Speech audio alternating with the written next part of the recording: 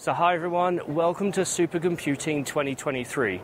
As part of this show, part of our travel and lodging has been sponsored by Supermicro, and I'm here at their booth to tell you about some of their amazing systems. Now, this isn't going to be your standard sponsor spot. They've got some really interesting stuff. We're talking Grace Grace, Grace Hopper, and in this video, we're going to focus on their high density liquid cooling solution. We're talking six kilowatts almost, cooled with liquid.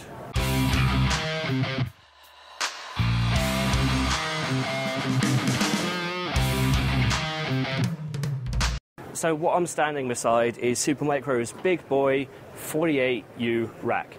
Inside, they've got all the stuff they're promoting here at the show. So at the top, you've got switches, you've got storage focused, and uh, then a few of these things. What I want to point out to you, what we're going to focus on is this system here.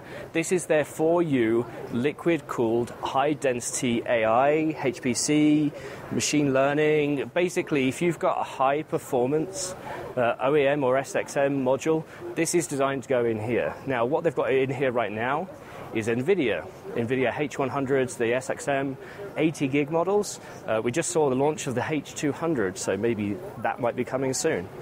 So, what we have on the top, now you've got to deal with the cooling in some way. So, there's only space for eight drives compared to some of these others here that have many, many more. Um, but then you have hot and cold pipes, and these are also color coded. And the point here is you've got eight GPUs in this system. When you've got a high performance AI workload, and there are so many companies who want to start training their own models or do fine tuning, they're buying these in their masses. Now, why go the liquid cooled route?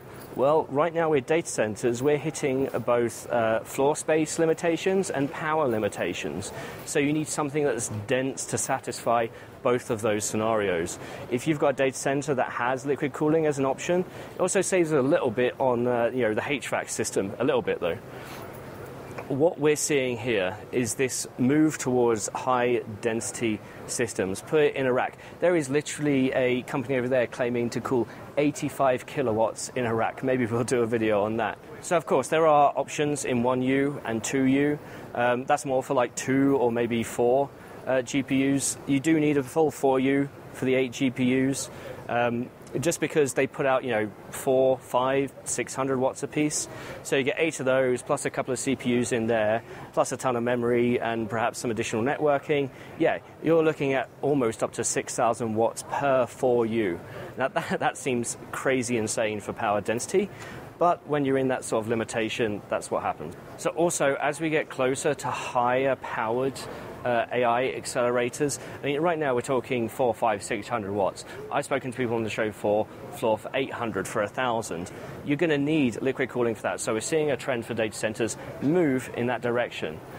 Also, what identity helps with is the cost of the data center. I've been speaking to a couple of companies here who are looking to deploy literally megawatts of compute, and you have to go to a data center provider and say, hey, how much for X amount of racks at X amount of power?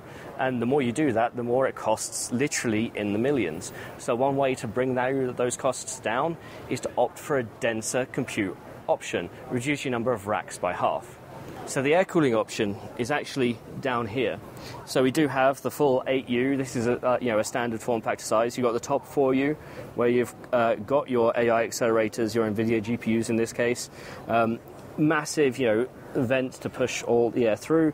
You've got additional fans here to help cooling with the system because in this bottom 4U, that's where you've got your control compute, so you can have any number of CPUs in here. What the added space does give you in an 8U that you don't get in the 4U dense version is this ability to have lots of I/O. So we're talking about hot swap NVMe, but then also you know additional networking and then connectivity at the back. In the 4U, that's a pretty dense option, but in the 8U, uh, you do get that level of flexibility. Now, some data centers obviously don't have liquid cooling, um, or they may be power at the rack limited. When that is an option, when that is, is the case, and you are renting a whole rack and you have to go up to the power limits, then the air cooled option it has fewer things to go wrong, but it is less dense. Um, and obviously scalability as we get up to you know the thousand plus watt accelerators they may be going towards liquid cooling. I mean, lots of data centers are going to liquid cooling these days for that option. But they've actually got one of these over there open that we can take a look at, so let's go over there. So again, this is the air-cooled version, and Supermicro are very famous for their uh, SKU numbers. So this is the AS8125GS TN HR8U with the NVIDIA HGX H100 GPUs. So eight of these uh, bad boys in here. Now this is a sizable beast, obviously. Uh, one thing I don't see often quoted is uh, how much these things weigh. Fully loaded, we're talking about 100 kilos or 220 odd pounds. Um, but we can actually take these open. They let us open them yesterday at least.